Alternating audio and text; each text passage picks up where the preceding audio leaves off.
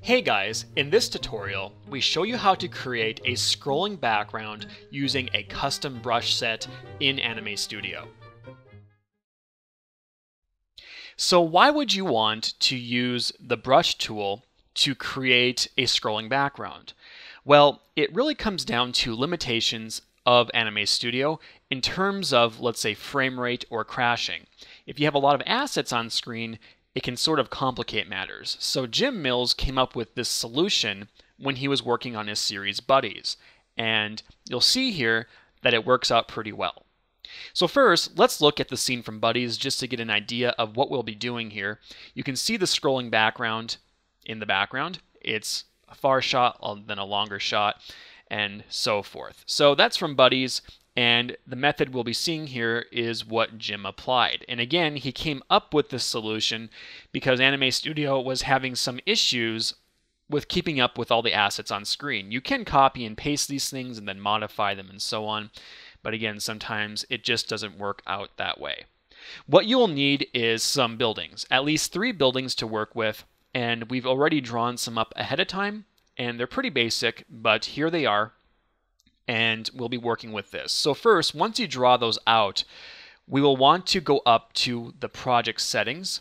So we'll just go to File and then Project Settings, and you'll want to adjust the width and height of the workspace to be the same. In this case, we'll do 1280. Make sure you turn constraint proportions off so that you can enter this number in. So 1280 by 1280 and then click OK. Now you'll want to put your buildings, if they're not already done so, into a group layer. So we have some buildings, we have some hills, and we have the road. We're just going to make a group layer and put all of those elements into it. So this will make things easier when it comes to resizing, which we'll do right now. We want to resize with the transform layer tool so that the edges of the road are touching the workspace boundaries. So that blue line right there on each side We'll just have it so it's touching. Now, once you've done that, we can render this out using Control R if you're on PC, Command R if you're on a Mac, and you can kind of see what this is going to look like. Now, we will need to save this as a PNG file. So in that render screen, go down to File, Save As, and then PNG, and we can then go to the Anime Studio folder on your hard drive. So Program Files, Smith Micro, Anime Studio 9.5 or whichever version you're using, resources, support, brushes. It's kind of a long path there, but you can see we have some brushes in here. He's already made some for himself. What we can do here then is name this brush. So we'll name it buildings just for this example. And then we can click save. Now, if you are using the 32-bit version or the 64-bit version, you'll have to make two brush sets for both if you're jumping between the two, just so you're aware, and that only applies to Windows users. So now you could make a new document, or we could just hide this um, layer and then make a new vector layer to start the scene here we're going to be making for the scrolling background. So first, we will name this one buildings because we're going to bring the brush in to get this to work. So we'll go to project settings first of all, and we'll reset the workspace back to something like 720p or 1080p, whichever you're going to do. We'll take the add point tool and we're going to draw a straight line all the way across. Take the create shape tool, click the line, and then click create shape. Now come over here to your style panel and choose no brush. We're going to look for that brush and you'll notice it's not actually here. So what you're going to need to do is whenever you put a brush into the folder, you need to restart Anime Studio. So let's just click OK. Let's save this file so that we can come back to it here in a second. So we can find a folder on our computer where we want to save it. We can just find a tutorials folder. In this case, for us, just put it somewhere where you'll be able to find it here. And we'll just name it Buildings for right now. And then click Save. And then close out of Anime Studio. And then reopen that file so that we can relaunch Anime Studio and then we will be good to go. So now, coming back here, we'll take the select shape tool and click on that line, come over here to the style palette and click no brush, scroll down, and now you can see we have our buildings right here. Now, if we click OK and we zoom in, you can see we have kind of a mess. It's almost like an earthquake got a hold of our buildings or something. You'll want to click on that brush icon again and adjust the brush jitter angle. Now you could put it to zero right away. We're just kind of scrolling around here just to show you what's going on here. You can see as we go less and less, it gets more stable. And you're going to want to play around with the brush spacing as well so that we can see all the buildings and we can get it so that there's no gaps. You can see there's a gap there, but we can try to close it in. We'll try to go, let's see here, let's try about 125 and click OK. So now we have the line of buildings, and it's really small though. So there are a few things we can do to correct this. And the first is to zoom in with the camera. You can see we're zooming in on the camera. The problem with this is when we move the camera around, it's really hard to work with because it's so zoomed in, it moves so fast. So that might not be something you want to do. So we can just reset that. So that's one method. Just keep that in mind. The second method is just resizing the layer with the transform layer tool. This in itself is kind of a pain because as you can see, as we're trying to resize it, it's just getting so big, it's hard to grab a hold of it. And as we continue to resize, it's, you know, kind of a slow process here. And so you could do that if you wanted to. Let's just reset those properties. The last method you could use is the line thickness method. So we'll click on that shape, go to the style palette, and we can resize this all the way up to as far as it will let us to go. So if we go to like 300, it defaults to 256, but that's the thickest we can go, and you can see that's about how big it's going to get. Now you could use a combination of these methods. That's what Jim did for buddies. And if you do the line thickness, you'll also need to extend the line outward too, because as you can see, it kind of uh, messes with the length of the line when you do that. But Jim used a combination of zooming in, layer enlarging, and line thickness for buddies. For this tutorial, we'll just zoom in just for the sake of simplicity. Again, you may want to combine these elements if you plan to do this yourself. So we'll just get a good zoom here so we can see what's going on here. Just like that. And this will be a good foundation then for the remainder of the tutorial. So next, let's create a sky. We can go to the new layer and choose vector. And we can name this sky just to give us some color, you know, for the background here. We can come up here to the uh, shape tool and we'll just draw out a rectangle that covers the workspace. Take the select shape tool and we'll use a gradient for this and we'll just select a nice light blue color for the left end and then double click on the right indicator and choose a darker blue, click OK, and then click OK. And then you can adjust that gradient if you wish just by moving those handles around. We'll create a ground now after we put the sky underneath the buildings. Make sure you do that so the buildings are visible. We'll create the ground vector layer now. And we'll just basically do the same thing minus the gradient. So we can just come in here and draw out the ground. And you could do a gradient, but just for the simplicity of this tutorial, we'll choose a dark gray, you know, street looking color. Make sure the ground is also below the buildings, but above the sky. So now we have a look that looks like this if we render it out. You can see there's still a gap though. So that happens when we enlarge. You can sometimes still see some little flaws. So we'll take the select shape tool, click on that line, go back into the brush here, and we can try adjusting the number. Now, I believe this is going to make it a little bit worse, but let's turn on the minimize frame to frame randomization as well, because that can help as well. Enlarging the number will increase the spacing. So let's come back here and just change it then to 23.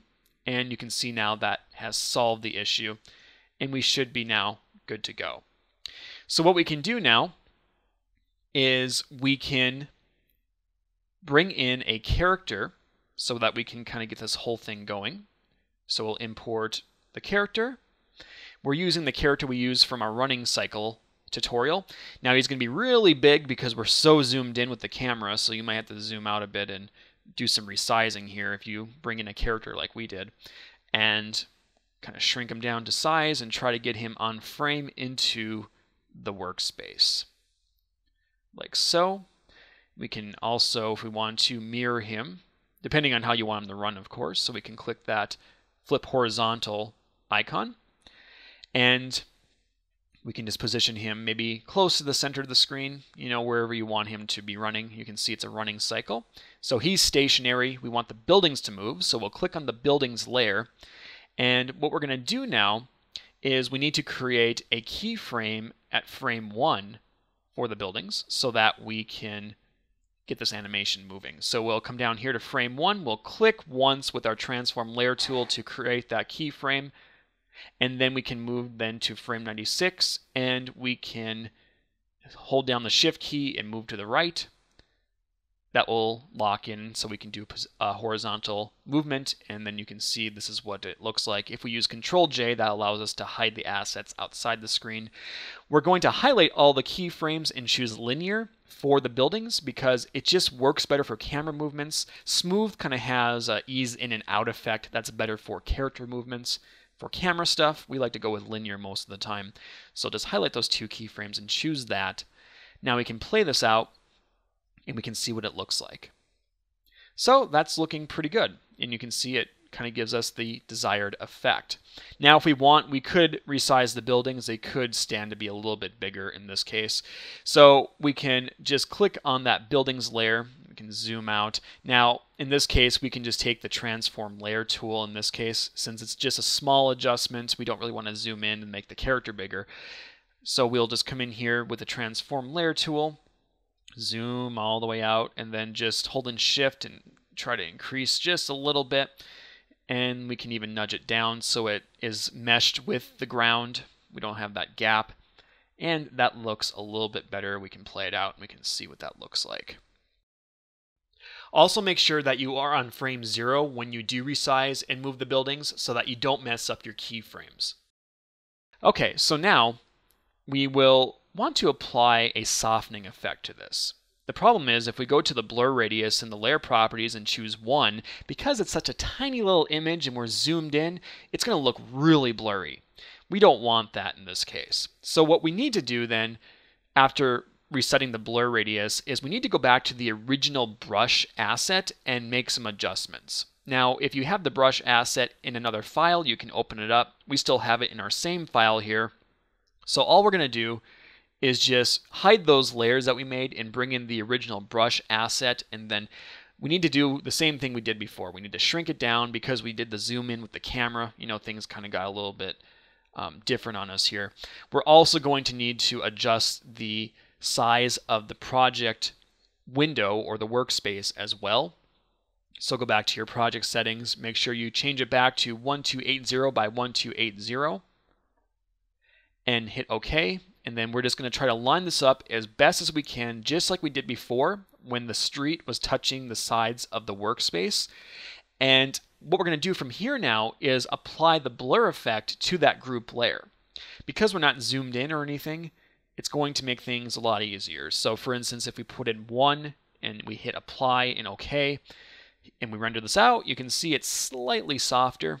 So we could really now control the softness of this. We can go back to the layer properties and let's say put in 20 and then click OK. And then we render it out again. You can see it's even softer. So it just depends on how soft you want this to look. Let's go to 30 and click OK and that's looking pretty good. So let's save this as a PNG, and you're going to do the same steps as you did before. You got to go back to your Anime Studio folder on your hard drive, which is under Program Files if you're on Windows. Smith Micro, your Anime Studio folder, Resources, Support, Brushes, and then all we're going to do is just replace that one that we made before. So just click it, hit Save, and hit Yes to replace and we can close out of this. Now, once again, we will need to close out of this file. So just go to File and Save, and then close the program and reopen it so that the brush changes will take effect. Now we can come back here and hide this asset layer and bring back in our running assets. And you can see now that it has automatically been blurred because the brush itself is blurred and we don't have to worry about blurring it in the actual animation. We can readjust the size of the window then and then we can play this out. And we can see now that it looks pretty good. Now, of course, we can add ma many more details to this. The background is quite simple just for the purpose of this tutorial. If you would actually like a tutorial on how to create more backgrounds, maybe buildings or more detailed backgrounds, definitely let us know. And I believe that is a wrap. Thanks for watching, guys. My name is Chad Troftgruben. I have narrated Jim Mills, recorded the tutorial, and he used his method from Buddies to provide the content for this tutorial. If you haven't seen Buddies, be sure to check it out. If you're looking for more tutorials, please subscribe to us. We need subscribers. That's how we live. If you didn't subscribe, we would die. It's it's a fact. Well, maybe it's not, but you know what I mean. So subscribe. You can check us out on Google Plus, Facebook, and Twitter. Thanks for watching, guys, and we will see you next time.